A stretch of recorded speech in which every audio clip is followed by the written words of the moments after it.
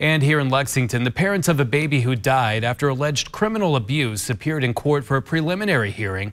According to a police report, Amancio Torres Trevino and Kaela Walker are charged with child abuse in connection to the death of their three-month-old Greyson Torres. Now, during court proceedings, Walker had her preliminary hearing moved to October 21st, while Torres Trevino waived his right to a preliminary hearing and will now face a grand jury. Police say the baby died after he was taken to the hospital last week with life-threatening injuries. A coroner's office and police are investigating the baby's death as a homicide. According to officers, Torres Trevino is accused of physically abusing the baby after their home uh, at their home on Alumni Drive.